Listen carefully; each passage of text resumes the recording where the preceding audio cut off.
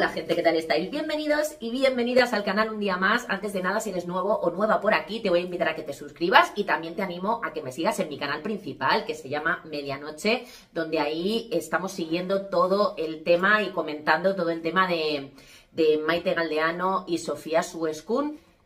No para de haber actualizaciones en este tema.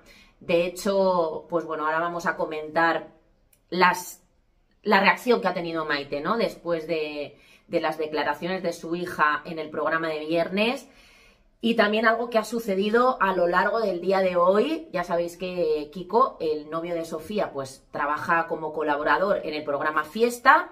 Hasta ahora ha estado cumpliendo. El propio programa ha admitido que es una persona cumplidora, trabajador. Ha habido momentos en los cuales a lo mejor pues podría haber dicho, ¿no? Debido a la situación, oye, pues no voy a trabajar o lo que sea, pero él ha cumplido y ha ido, pero hoy ha llamado al programa y ha avisado de que no puede ir, ¿vale? Que ha pasado muy mala noche, lógicamente, evidentemente, ¿vale? Em, y que no podía ir a trabajar y bueno, bueno, bueno, la que han liado en el programa. O sea, ahora hablaremos también de esto porque me parece un poco vergonzoso, ¿no? Em, me parece un poco vergonzoso el, este trato. En fin, ahora, ahora os explico por, por dónde voy. Y vamos a empezar un poco por la reacción de Maite Galdeano a las declaraciones de su hija anoche. A ver, todos vimos el sufrimiento de Sofía anoche, todos vimos en sus ojos el dolor y la tristeza que tenía. Eh, no ha sido un enfado con tu madre de un día de mira, nos hemos enfadado y mañana lo arreglamos. No, esto es una situación de control, de dominio absoluto eh, de Maite hacia su hija desde que ella tiene uso de razón. Es una situación en la que Sofía ha dicho no puedo más y es una situación donde, además hay amenazas graves. ¿Vale? Ha tenido que venir la policía, o sea, y, incluso Sofía ha tenido que poner una orden de alejamiento. O sea, la situación es seria y, es grave y Sofía es una víctima de su madre. Entonces, eh, hay que darle a este tema la importancia que tiene. Sofía no quería hacer daño a su madre, en esta entrevista. Contando su historia, lo único que quería era, en un intento desesperado, ya ha quemado todos los cartuchos para tratar de, que su madre vea la realidad, pero es que hay algo que llevo diciendo desde que empezó toda esta historia y desde que empezamos a hablar de personalidades narcisistas, ¿no? Em, una persona con este tipo de personalidad no, no admite nunca su culpa. O sea, jamás nada es culpa suya, jamás va a admitir que tenga la culpa de nada. Si pide perdón va a ser con la boca pequeña y mirando a cámara y al día siguiente va a seguir en sus 13 de no, perdona, pero es que yo no tengo la culpa de nada. Y, pero, pero al mismo tiempo es algo muy común y muy frecuente entre las víctimas de, de narcisismo que el querer todo el tiempo que esa persona vea la realidad sea, es decir, tú imagínate que tú estás viviendo una situación en la que tú estás viviendo un machaque continuado y en la que tú estás viviendo una serie de situaciones anormales, ¿vale? Que se salen de lo normal y que, y que, y que a ti te producen dolor y que no pasan en otras familias, ¿vale? En una familia normal esto no pasa, este tipo de reacciones, pues tener discusiones y tal, pero no ese, no ese dominio, ese control absoluto, esos celos enfermizos, ¿no? Entonces, Claro, lo que quiere la víctima es, la víctima siempre piensa, bueno, es que mi madre no está bien. O no se está dando cuenta de lo que está pasando por el motivo que sea. Entonces, yo voy a tratar de que lo vea. Y es que eh, cuesta de entender que una madre no quiera a su hija o que la quiera tan mal o que le guste verla sufrir, ¿no? O que quiera tenerla bajo siempre su, bajo su yugo, ¿no? Entonces, claro, la víctima todo el rato es, no, no, pero si yo le hago entender, pero si se pone en manos de profesionales, pero si yo consigo, entonces durante toda su vida hay esa, esa necesidad de complacer a su madre y por último, aunque esté tratando la víctima de salir de esa situación, siempre querrá que su madre entienda lo que está pasando y entienda la responsabilidad que tiene en todo este problema.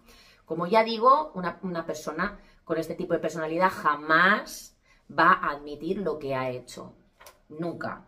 O sea, eso lo tenía yo bien claro, que Maite iba a ver la entrevista de su hija y le iba a entrar por un oído y le iba a salir por el otro. Eh, poco después de, que, de la entrevista de Sofía en de viernes, Maite Galdeano sigue a lo suyo. Ella no ha hecho nada. Kiko es el culpable de todo y pone, cuelga como un trozo de, un programa de televisión donde Sofía está hablando de Kiko, eh, de que si Kiko era celoso, no sé qué, del principio de la relación, ¿no? Como en un intento, o otra vez más, de tapar lo que ella ha hecho con eh, la relación que pudiera tener Sofía con Kiko al principio. ¿Sabes? O sea, siempre como esquivándonos, siempre como cortina de humo, siempre como que, eh, no, pero es Kiko, ¿no? Como echando balones fuera, ¿no? El problema de Maite con su hija es Maite. Y Kiko, si, si al final, si, continúa con Sofía o no, o el tipo de relación que tenga con Sofía o no, es totalmente ajeno a Maite. Todo lo contrario, o sea, esa relación se habrá, habrá estado resentida muchísimas veces y, y habrá estado dañada muchas veces por esa, eh, por esa actitud de la madre que ha tratado de meterse en medio todo este tiempo y ha tratado de dinamitar la relación como ella misma reconoció a Sofía eh, mientras Sofía se dirigía al aeropuerto para ir a Supervivientes. Cuando vuelvas, tu novio ya no va a estar contigo porque ya me voy a encargar yo de que salga de nuestras vidas. Ala, chúpate esa. Y ahora, concursa, ¿vale? Y pásate un montón de días eh, aislada, sin saber absolutamente nada del exterior, con ese palpito que te dice que hay algo que va mal porque tu madre ya te ha avisado de que cuando tú vuelvas, tu novio, chao, chao, porque yo le voy a echar, porque me da a mí la gana. Porque yo decido por ti y como decido en todo, pues también decido que tu novio no es bueno para ti. No te voy a dar a ti la opción, como persona adulta y madura que eres, de que tú decidas con quién quieres estar y de que si te tienes que, yo como madre te puedo aconsejar, pero te puedo obligar. ¿Vale? Que una persona, repito, tiene derecho a darse cuenta por sí misma de las cosas y a, a tropezarse 20 veces con la misma piedra y a elegir y decidir con quién quiere estar y con quién quiere cortar en cada momento de su vida. Total, ¿qué sucede? Que eh, de fiesta tratan de ponerse en contacto con Maite Galdeano, también en Socialité, eh, no, Maite no contesta, no contesta públicamente, o sea, no contesta a lo que es el programa, pero luego por privado sí. Luego por privado, Maite sí que habla con algunos periodistas y les dice que todo lo que ha contado Sofía es mentira. O sea, no sigue sin aceptar la realidad y sigue sin reconocer lo que ha hecho, que son cosas muy fuertes, ¿vale? Por las que nadie debería seguir bailándole el, agua a Maite. Ya se ha acabado, yo creo que ya debería eh, la gente dejar de jalearla y dejar de apoyar este tipo de conductas en las que una madre eh, trata de esa manera a su hija, repito, si esto no fuese una relación madre-hija y esto sucediese en una relación de pareja, estaríamos hablando de otra cosa, no estaríamos teniendo tanta condescendencia y le estaríamos poniendo un nombre. ¿Vale? Pero parece ser que como es el trato de una madre hacia una hija, se tiene que soportar todo. Y no, un hijo no, tiene por qué soportarlo todo.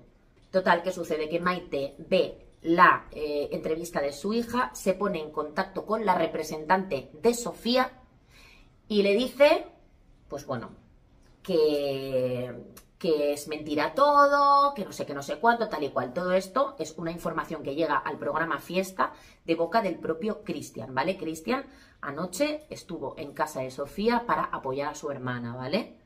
Porque claro, evidentemente eh, Sofía llegó devastada de esa entrevista. Aunque por la mañana Sofía se encontraba muy bien, muy liberada por haber hablado, es un trago muy fuerte explicar esto en voz alta. Esto que te ha estado pasando durante toda tu vida, explicarlo es liberador, pero al mismo tiempo hace mucho daño. Entonces ahí estaban Kiko y Cristian para apoyar a Sofía, ¿no? Al enterarse Sofía de la reacción de su madre, al enterarse de que, claro, ha sido una, una, una decepción, porque su último cartucho, el último cartucho de Sofía, que era, si yo esto lo explico delante de toda España y me libero y mi, mi madre tiene que entender el daño que me ha hecho, ¿no? O sea, mi madre sí o sí tiene que entender el daño que me ha hecho.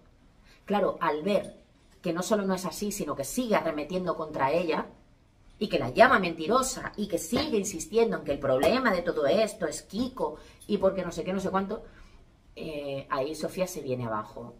Entonces, se ve que lo están pasando fatal, lo está pasando mal tanto Sofía como Kiko, porque todo esto ya lo explicó Sofía ayer, que ella, Sofía sin querer, ha arrastrado a Kiko también a todo esto. O sea, estamos hablando de una relación que era una relación de tres, que era una relación en la que Kiko tenía que vivir en una casa al lado porque no podía convivir con Sofía. Porque no podía soportar Maite ver cómo Kiko y Sofía se besaban y se abrazaban. Entonces la relación tenía que ser durante el día. Lo que hacían era que convivían los tres, siempre juntos, y luego por la noche Maite ya ponía mala cara de, oye, vete para tu casa.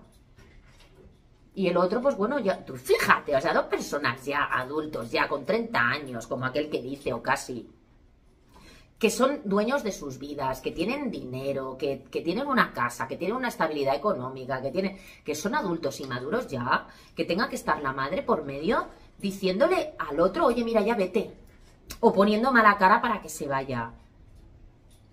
O sea que Sofía no se pueda levantar, no, se pueda acostar por la noche con su, con su pareja y no se pueda levantar con él al día siguiente porque es que su madre va a tener un arranque de celos. Oye, mira, esto, esto es un tema muy serio sinceramente, ¿eh?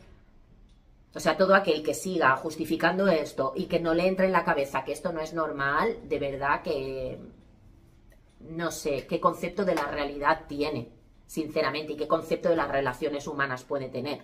Entonces, ya os digo, tanto Sofía como Kiko están devastados, están destrozados. A Kiko le afecta, evidentemente, ver así a Sofía y Jolín, y es que Kiko es también otra víctima más de todo esto. ¿Vale? Entonces, al final, eh, Kiko decide a lo largo del día, yo creo que eh, Kiko estaría durante toda la mañana pensando, ¿qué hago? ¿Voy a trabajar? ¿No voy? ¿Voy al programa? ¿No voy? Tal, y al final decide llamar y decir, mira, por motivos personales he pasado mala noche tal y, no voy a poder ir. Yo supongo que él al día siguiente o cuando pudiese eh, ir al trabajo, eh, daría unas explicaciones más, eh, pues bueno, un poquito, un poquito más extensas, ¿no? De lo que estaba sucediendo. Pero yo creo que siendo todos conscientes de esta situación, ya se entiende perfectamente por qué Kiko no ha ido a trabajar. Bueno, pues ha empezado un debate en el programa de fiesta diciendo como que como que las explicaciones se quedaban cortas. O sea, todo esto lo ha explicado Omar, creo que es el colaborador que se llama Omar, creo que sí. Si me equivoco, disculpadme, ¿eh? Em, pero me gusta mucho cómo habla este chico, ¿no? Y hace un poco como de, portavoz, ¿no? Y dice, mira, Kiko no ha venido por esta... Porque mira, Cristian me cuenta que ha sucedido esto. Que Maite ha llamado a la representante de Sofía, de nuevo a Sofía le ha generado ese malestar, eh, están muy mal todos y Kiko no puede ir a trabajar, no se encuentra en condiciones para ir a trabajar, ¿no? Bueno, pues han empezado en el programa que si este era suficiente motivo, que ha tenido que pasar algo más, que a ver por qué Kiko no ha dado más explicaciones y que, y que no, no es suficiente explicación decir que ha pasado mala noche. Mira, yo te voy a decir una cosa, y esto te lo digo por el Estatuto del Trabajador, que de eso sé un poco, ¿vale? Porque son 45 años cotizados. Bueno, 45 años que tengo cotizados, no, no tantos menos. Te voy a explicar. A ver, tú tienes una serie, un número, dependiendo de cada trabajo, dependiendo de cada estatuto, etcétera, un número de faltas injustificadas que puedes tener al cabo del mes, al cabo del año, etcétera. ¿Vale? Y luego tienes otro tipo de, faltas, que es lo normal, que cuando tú no vas a trabajar, justifiques esa falta bien con una baja laboral o bien con una justificación que a la empresa le sirva eh, dentro de lo que marca el estatuto, ¿vale? Por el motivo que tú no has ido a trabajar. Cuando tú tienes una enfermedad, del motivo que sea, una enfermedad que a ti te impida ir a trabajar, cuando tú vas al médico, el médico te firma la baja y eso le tiene que bastar a la empresa. La empresa no tiene por qué enterarse de qué enfermedad tienes tú. No tiene por qué saber si te has roto una pierna o tienes COVID. Si tú lo quieres decir, de, buena fe, estupendo. Pero si tú no quieres decirlo y quieres, es, forma parte de tu derecho a la privacidad. ¿Vale? De nuevo, el derecho a la privacidad, que sí que existe, aunque nos creamos que no. Entonces, a mí me da igual que mi jefe se quiera enterar de mi vida privada y quiera saber eh, los motivos internos que a mí me han llevado si me he discutido con mi madre, con mi suegra o con mi marido pero no tiene por qué enterarse, no tiene por qué saberlo. Entonces, yo creo que las, las eh, justificaciones que Kiko ha dado, en este caso a su empresa, al programa Fiesta, son más que suficientes. Y, y yo creo que ya se entiende el motivo. No necesitáis saber si hay más. No, pero es que tiene que haber algo oculto más, tiene que haber algún motivo, tiene que haber algo... ¿Te parece poco? De verdad, yo, yo lo flipo. ¿Os parece poco? Es que lo flipo mucho. Además, cuando en el propio programa han dicho y han dejado bien claro, por activa y por pasiva, no, no, pero si Kiko es una persona, vamos, completamente, eh, es una, una, persona trabajadora, cumplidor, eh, oye, podría haberse no presentado en muchas ocasiones y aún así ha venido a trabajar. Eh, bueno, pues si hoy no ha venido, puedes entender que ha sido un motivo de peso, ¿vale? Espérate a que llegue mañana o pasado, mm, a que esté más tranquilo, ¿vale? Porque a lo mejor es una situación muy crítica dentro de su casa, la que están viviendo ahora mismo, porque los ataques de ansiedad son muy malos, porque hay arrebatos y a veces uno piensa en hacer una locura. Cien mil cosas. Por favor, cuando una persona no está bien psicológicamente. Y si en algún trabajo os han obligado a explicar absolutamente todo, que sepáis que no es legal. ¿Vale? Y luego dentro de cada empresa hay diferentes, em, eh, diferentes convenios laborales, ¿vale? A lo mejor en una empresa puedes eh, faltar sin justificar eh, tres veces y a la cuarta ya es despido o sanción y tal, hay otras que a lo mejor serán dos veces, pero hay un estatuto del trabajador que es para todo el mundo y son unos derechos del trabajador que están ahí bien contemplados. Que habrá quien diga, vale, pero es que Kiko no tiene un trabajo normal porque es que Kiko también está ahí, a ver, Kiko está ahí como colaborador. Y evidentemente, si le preguntan cosas que tengan que ver con su vida, él explicará. Pero no tiene por qué tampoco profundizar. Em, de hecho, Sofía lo explicó todo sin entrar en detalles. Cuando tú dices estoy recibiendo amenazas graves, no hace falta que digas y me amenazó con quitarme la vida, por decirte algo, ¿eh? no digo que fuera esto, es por, por poner un ejemplo, y me amenazó con quitarme la vida y después quitársela a ella. No hace falta que diga eso. Eso que quede en la imaginación de cada uno, con decir, estaba recibiendo amenazas graves, ya está. Ya no podemos hacer una, una idea. Entonces, en esto es lo mismo. Eh, Kiko ha dado unas explicaciones que yo creo que después de la entrevista de Sofía se entienden perfectamente. Yo cuando el director del programa dice, em, claro, es que si a mí me dice simplemente eh, he pasado una mala noche, a mí no me vale. Bueno, discúlpame, te tiene que valer. Y al día siguiente yo ya te presentaré la justificación que sea necesaria. Pero ¿cómo que yo tengo que explicar? Y, y escucha, que le han hecho en el programa que va a llamar ahora, ¿eh? O sea, que a lo mejor dentro de un rato hago un vídeo mm, diciendo lo que va a decir Kiko, pero es que Kiko va a decir lo mismo que ha dicho por teléfono. Mira, no estamos bien. Pero le han hecho llamar, ¿eh? No, tenemos la promesa de Kiko de que, de que va a llamar a lo largo del día y, mm, va a explicar no sé qué. Y ahí está. Acaba el programa a las 9 de la noche y Kiko mm, todavía eh, tiene que llamar estando Sofía en el estado en el que está, que están diciendo que Kiko no ha ido a trabajar, porque aparte de que él está fatal también, se ha querido quedar con Sofía, porque Sofía no está bien. Que no está bien esa muchacha, ¿no lo vimos ayer ya? Bueno, eso me ha sacado de quicio la reacción del programa, pero es que luego estaba sentado Albalá, ahí también como colaborador.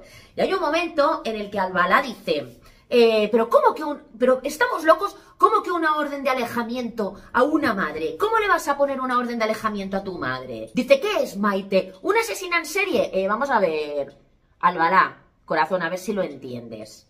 No todas las madres son como la tuya. ¿Vale? Hay madres que hacen daño, hay madres que son muy dañinas y hay madres de las cuales te tienes que alejar.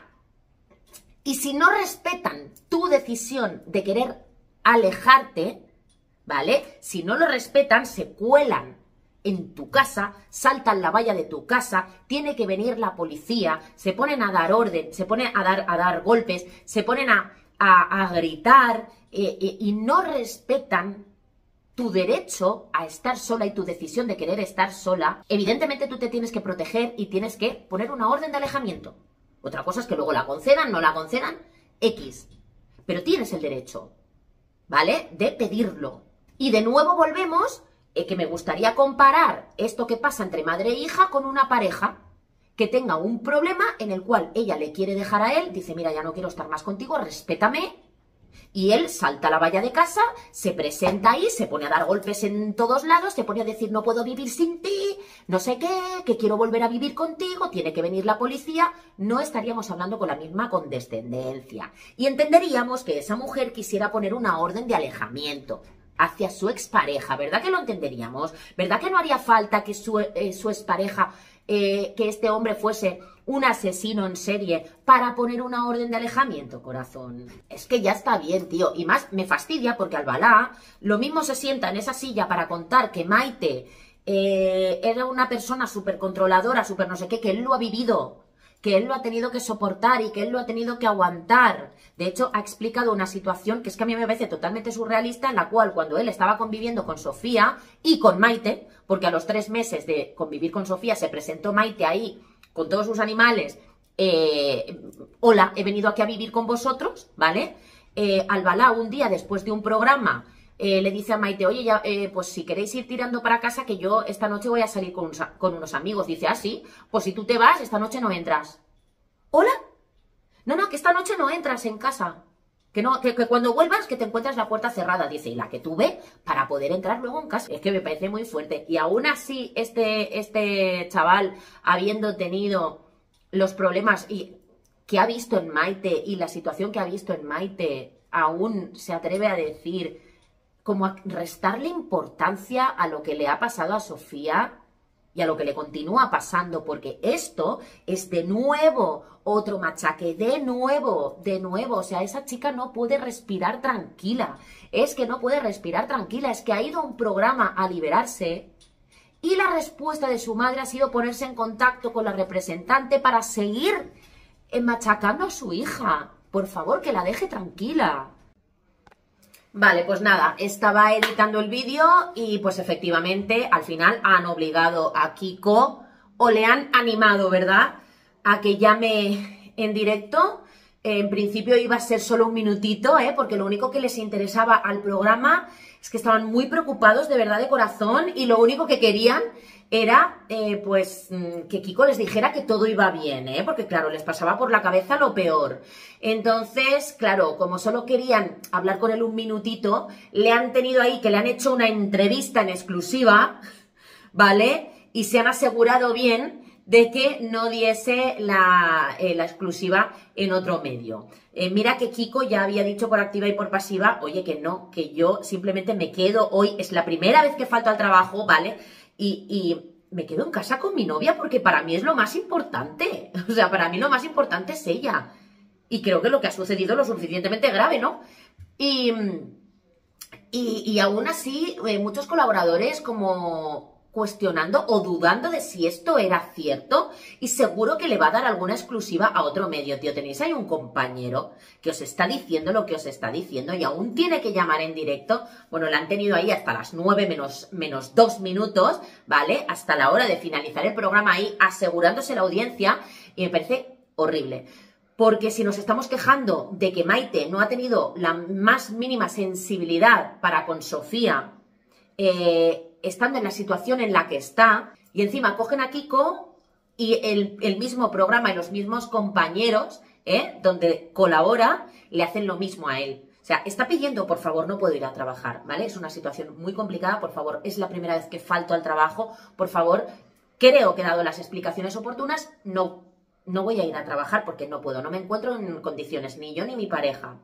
Y le han hecho trabajar, porque esto es al final, no ha ido presencial, pero le han obligado en un momento en el que él está pidiendo que no puede, que no puede, que, no, que, que lo necesita, ¿vale? Que necesita estar en casa, que no puede intervenir, que no puede hablar, le han obligado.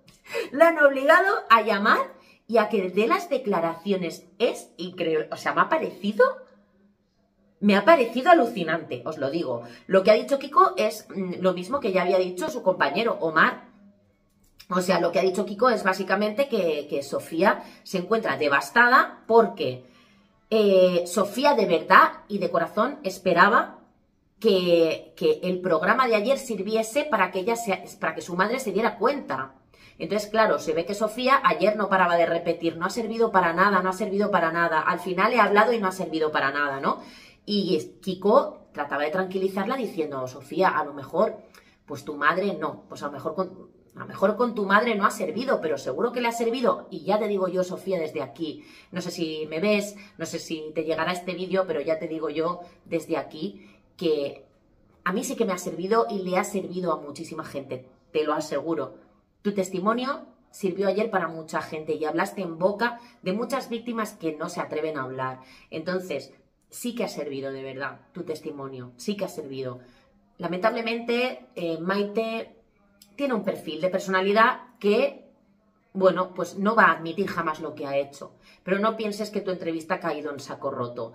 Y bueno, y respecto a lo de Kiko, pues ya no me voy a extender más, pero le han tenido ahí un buen rato teniendo que dar explicaciones, volviendo a explicar una vez más algo que es completamente lógico. Los que estaban ahí sentados así, asintiendo con la cabeza en lugar de, mm, de decir, oye, te entendemos, Kiko. No, no, empezaban, ya no se extrañaba ya. Es que, claro, es que, es que, ¿qué?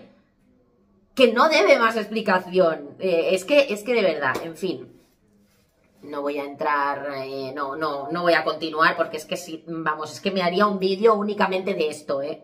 Porque me ha parecido, me ha parecido aún peor que la reacción de Maite Galdeano, ¿eh?